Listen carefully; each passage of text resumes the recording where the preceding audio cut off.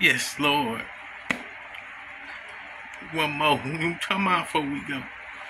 Lord, give me a good one like you always do. Let it help me and let it help someone else through. You're just talking this morning, Lord Jesus.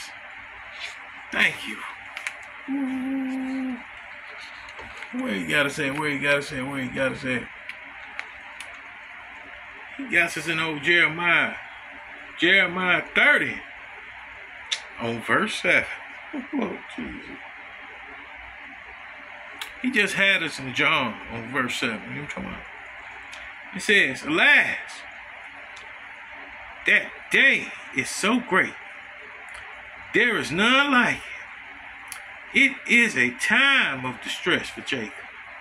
Yet he shall be saved out of it. Yes, Lord. It's a stressful time. You're talking about we living in the last days revelation. You're talking about. And he wants to help us out. You talking about I told y'all the other day he hit me with the two or three very powerful words that he won't hear heard. You talking about?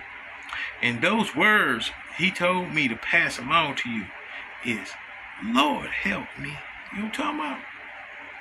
When you say that, you done just broke the mold. You talking about? You done just shook the kingdom of darkness. You talking about at its foundation. Yes, Lord. This here is unsugarcoated. But I can't make this here John up. Said